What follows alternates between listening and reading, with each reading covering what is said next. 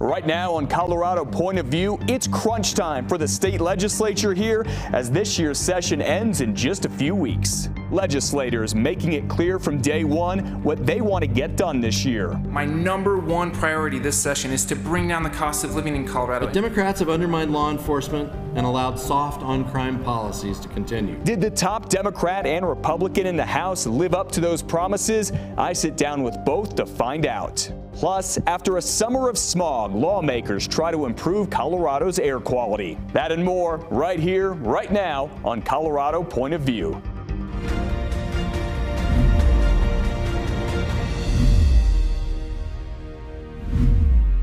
Good morning, I'm Matt Mauro, and this is Colorado Point of View. The state capitol is about to get even busier as legislators have just a few weeks left to make new laws during this year's legislative session. The 73rd General Assembly is now set to adjourn on Wednesday, May 11th.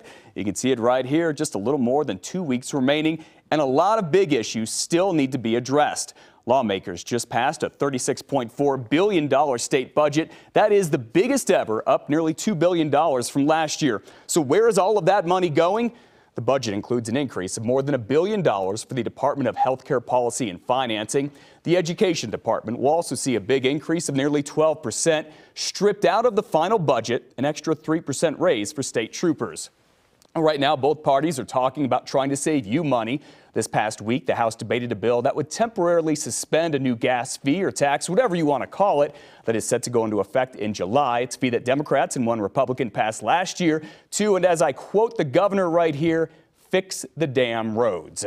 We'll talk about that and much more coming up. And how could we forget the controversial Fentanyl Accountability Prevention Act? It went through some dramatic changes a little more than a week ago, including making it a felony to knowingly possess one gram or more of fentanyl rather than the four grams under the current law. One of the sponsors is, of that bill is the Democrats' top dog, the Speaker of the House, Alec Garnett. He joins me here now.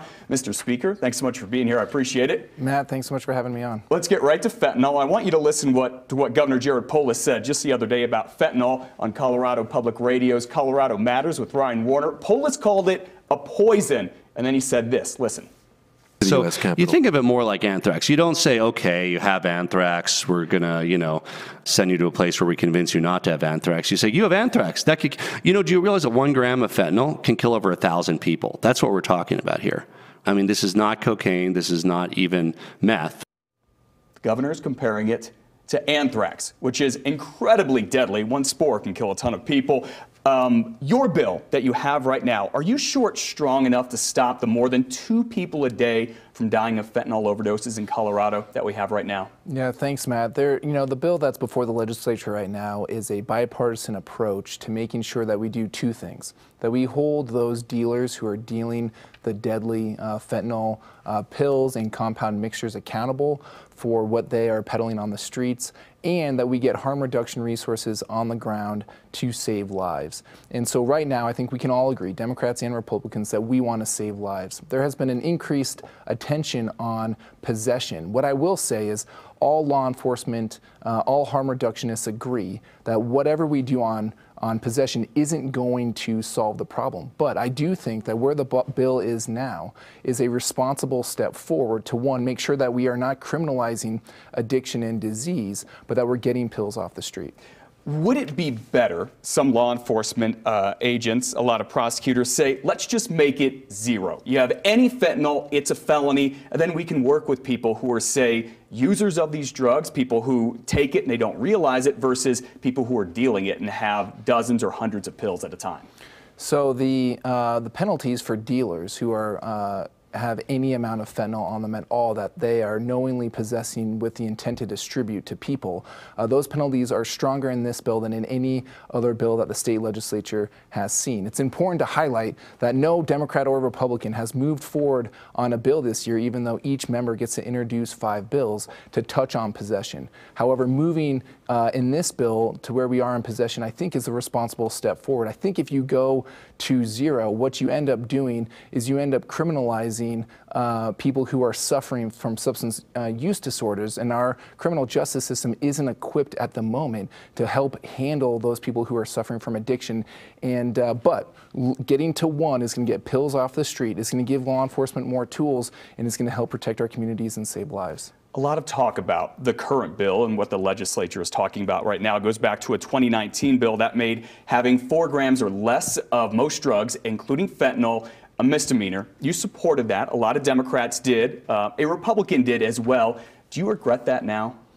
Uh, there was more, way more than uh, one Republican. Uh, there was a lot of bipartisan support for that bill. I think at the time in 2019, um, most of us, I don't think, understood what fentanyl was. I think it's fair to say that four grams of fentanyl is too much fentanyl. I think everyone that I've talked to, uh, when it comes to personal use, uh, believes that having 40 pills in, in someone's pocket is not personal use. And so I think that's really what we're doing here is we're realigning the cut points in state statute to better reflect uh, where uh, people are at right now in regards to fentanyl. Okay, let's go back to some of your priorities. You talked about these as the legislative session began back in January. Listen. My number one priority this session is to bring down the cost of living in Colorado and make life more affordable for families in our state. That's a priority for a lot of people, especially with inflation right now here in Colorado, up 9.1% since last year. Do you think you've lived up to the priority, and if so, how? Um, I'm, ass- I'm assuming that was saving people money since I wasn't Yes. able to hear the recording. Oh, I Um, apologize. Yes, you said my number one priority this session is to bring down the cost of Yeah. living in Colorado and make life more affordable for families in our state. Yeah, absolutely. I think uh, when it comes to the state legislature, we only have, have so many tools in order to help save people money.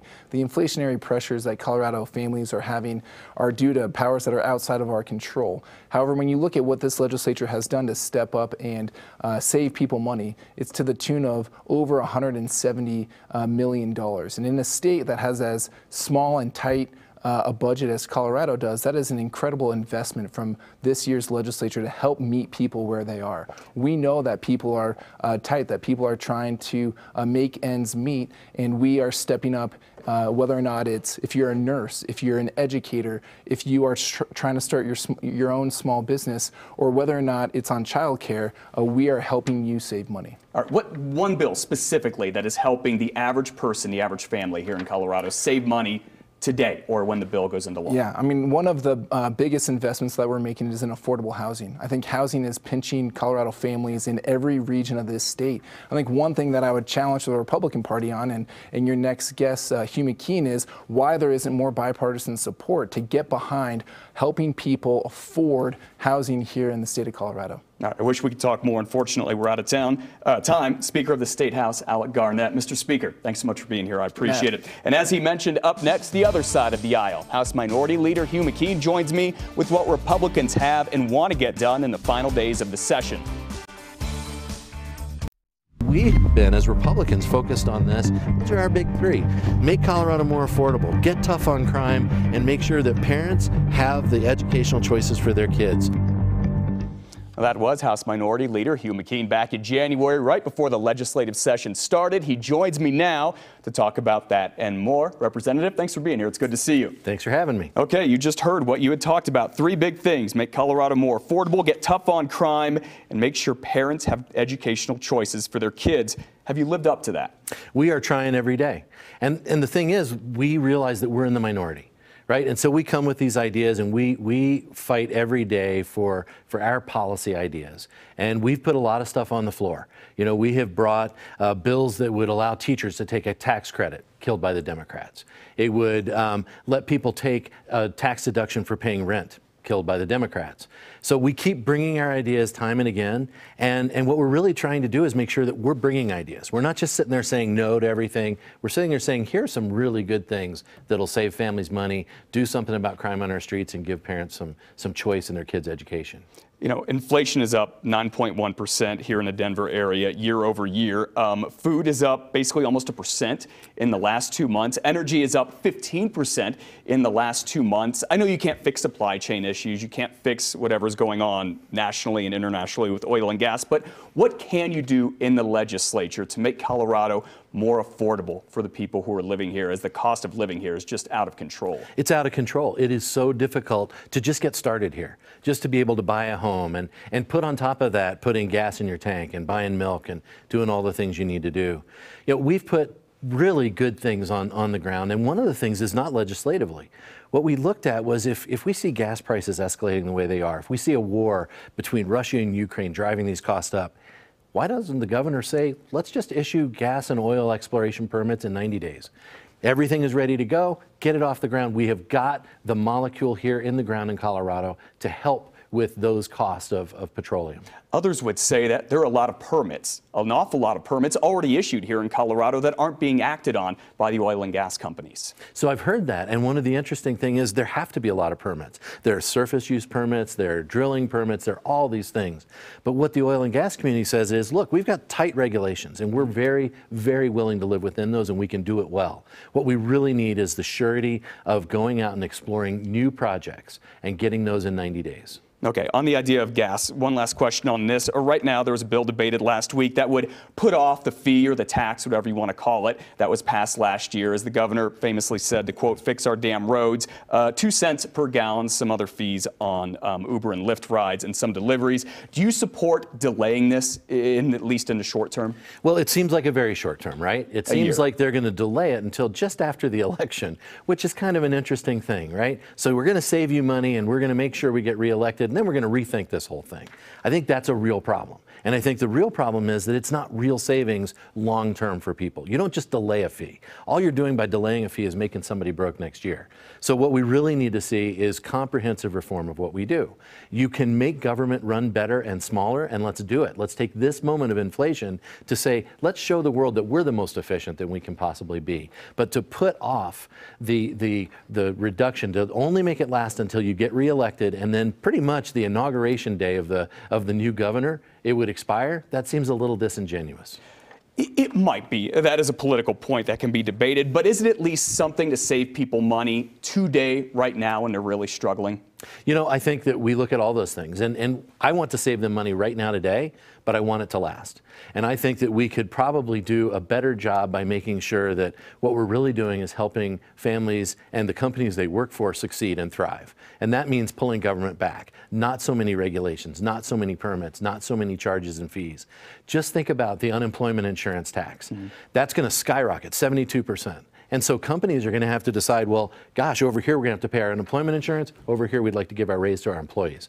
I think the employees should be getting that raise. All right, let's talk about fentanyl real quick. The new bill in the House, as it stands right now, would make it uh, a gram or more to be a felony rather than the four grams that it currently is. Do you support the bill as it is right now? So I think right now I think that it's a work in progress, and I, I, would like to see it get to zero.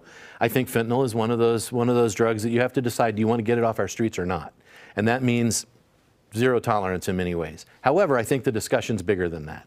Back in, in 2019, they brought 1263, the bill that defelonized these drugs. Mm-hmm. Um, I fought against it. I was on Judiciary Committee. The very next year, I brought a bill of repeal to repeal the whole thing. It was killed. This year, I think we come to the problem that was created from that, which is that fentanyl and other drugs have more penetration in our communities than ever before. The governor's right. This is a poison.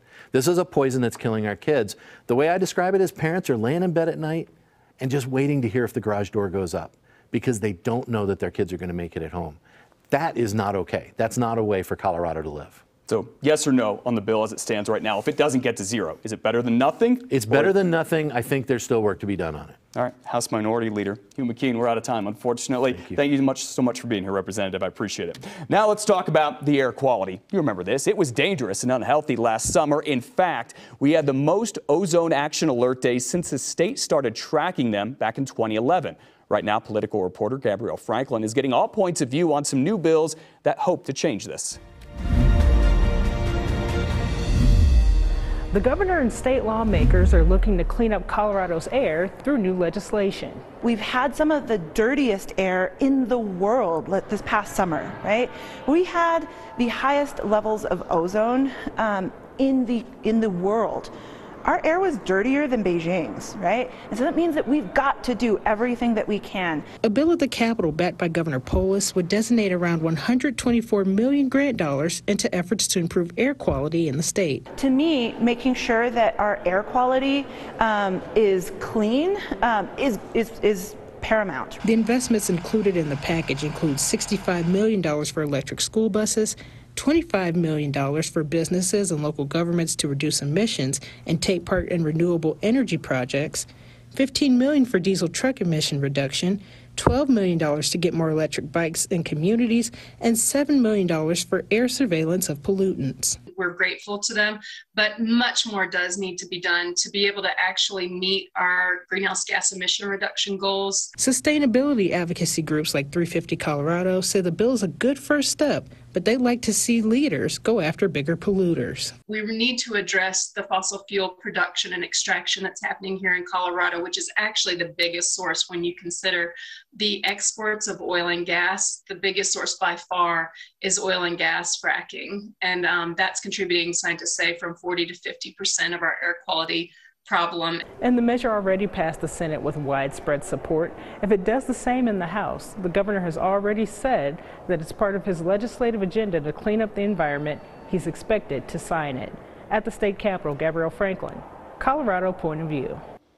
And right now, Colorado could have one of the more competitive U.S. Senate races coming up for November. New federal reports show Senator Michael Bennet has millions of dollars more than any of his two GOP opponents for the primary.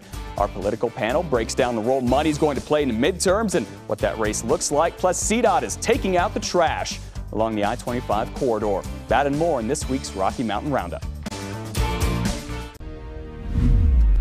We are back with a Colorado point of view on the legislature, the U.S. Senate race for this state, and more from our political analyst, Democratic strategist, White House and gubernatorial advisor Andy Boian, along with Republican strategist and the director of the Advance Colorado Institute, Michael Fields. Gentlemen, it's good to see you. you Thank too, you so much for Thank being you, here. Um, earlier this week, I asked both of you to grade how you think the session has gone so far. Let's take a look at what you say. Andy, you give it a B. Uh, Michael Fields, it's barely a passing grade. I know that from experience, at a D minus. um, Andy, let's start with you. The Democrats control it all the House, the Senate, the governor's office. Why just a B? You know, we we uh, we have done a very good job in a number of places. I think in terms of coming with ideas, with strong support, and with, as the speaker just said, some bipartisan answers um, in some very good ways. We've got some work to do, though. I mean, we are in charge, and the party in charge is always going to be the party that's going to be looked at as as true leadership and and bringing good, thoughtful ideas forward. Um, the problem is we don't have a lot of agreement on the other side, not a lot of willingness to work with us on the other side. So we've got some contention back and forth, and I think we could do better there. But I think both parties have some responsibility. But uh, uh, but a B, I think, is a solid grade so far. We've got a bit to go, though. Okay, a couple more weeks. You know, it's always a rush to get everything done. There'll be a lot more bills passed. Michael, why a D minus? Well, you look at just that they failed at what they said their number one priority was, which was lowering the cost of living, saving people money. Uh, you look at our costs are, are, higher than ever. Inflation is worse here in Colorado than it is uh, nationwide, and the budget is 2.3 billion dollars bigger than it was last year. That's money that's not in taxpayers' pockets, that's in government's pockets. And then on public safety, they've also, I think, failed. There's a half measure going through on fentanyl right now. You have violent criminals who are getting out after only 40% of their sentence. Uh, you know, Republicans did bring forward 44 bills to address these issues. Democrats shot them down. And so I think there's leadership that's needed right now. It's a crucial time for Colorado. It's not happening at the legislature. Is there one bill both of you can agree on and say this is one we need to pass in the next two weeks? Well, I think the fentanyl bill has to be passed, no and it has to be passed. Uh, I think with with any possession being a, a felony, and it's going to be on the floor, uh, you know, very soon, and it's going to move over to the Senate. And I think that it's something that could get done, and it should get done. It'll be it'll be on the floor in the next few days. It'll get over to the Senate. It has to be done. There is absolutely unequivocally no question that it has to be done. It has to be done now, and it has to. We have to show the country we are a leader here uh, on the, on this issue, without a doubt. A lot of people hope so. Uh, also, for the second national election in a row, all eyes are going to be on Colorado as the state is once again going to help determine which party controls the U.S. Senate. Take a look today. New numbers are out about how much cash the candidates have Right now, the Democrat and incumbent Senator Michael Bennet has a huge lead over his two Republican challengers, Joe O'Dea and Ron Hanks. Many analysts do believe, though, that Colorado's seat remains quite competitive in the November midterms. In fact, the Cook Political Report, widely respected by both sides, recently downgraded Bennet's seat from solid Democrat to likely Democrat. Michael, it's going to take a lot more money, and especially when you look at the two Republicans are going to spend some here in the primary before June. Yeah, they're going to have to. Uh, you have two candidates on, and fundraising shows are you a serious candidate or not. And if you look at Ron Hanks' numbers, for example, $16,000 doesn't show that you're a serious candidate. It's yeah, he overwhelmingly who, won at the it, Republican It's somebody Assembly. who's, who's running on one issue and had a plan to get through the Assembly, but doesn't look like he has a plan beyond that. And so you look at somebody like Joe O'Dea, who's a common sense conservative who's going to raise enough money in order to do it. Uh, you can see Bennet's can, uh, campaigns already already uh, scared of that as a race. And so I think this is going to be competitive just because of what is happening nationally. Uh, and the fact that a third of, of Coloradans don't have an opinion about Michael Bennet, which is bad in a year when Democrats aren't doing well. So I think it's going to be a competitive race come November. Even though when Bennet run, ran and won back in 2016, he had 1.36 million votes. At that time, more than any other Democrat ever in a statewide race in That's Colorado. Right. That's right. Yeah, I mean, I think you look at it, every year is different, right? And this is not going to be the same year that Jared Polis ran in in 2018.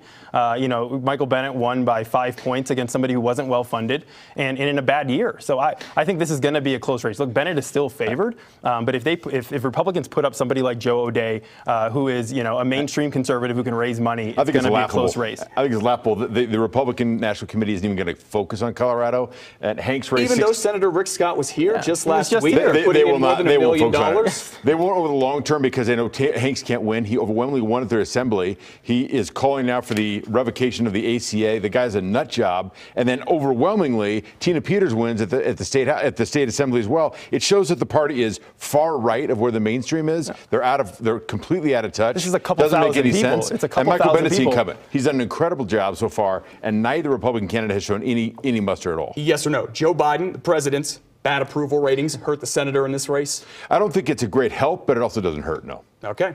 Andy Boian, Michael Fields, gentlemen, thank you. Right now, CDOT workers are cleaning up trash along I-25, but it is costing you, the taxpayer. New numbers show just how much fentanyl enforcement is getting off the streets on the western slope.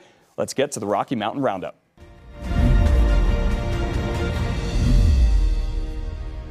I'm Ashley Nanfria with Fox 21 in Colorado Springs. CDOT crews spend their Monday cleaning up I-25 from Trinidad to Monument, as well as Highway 50. Normally, it's the maintenance team, but everyone from the office in Southern Colorado rolled up their sleeves to pick up trash. It comes at a cost to taxpayers to get crews out to clean up. That all adds up, right? So you get one napkin from one person, a bag of trash from another person, and then you get people dumping their old furniture, their TVs, and everything else on the side of the road. It adds up.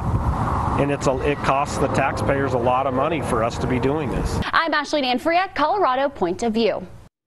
And that'll do it for Colorado Point of View on this Sunday. I'm Matt Mauro. Thank you so much for joining us. I'll see you back here next week.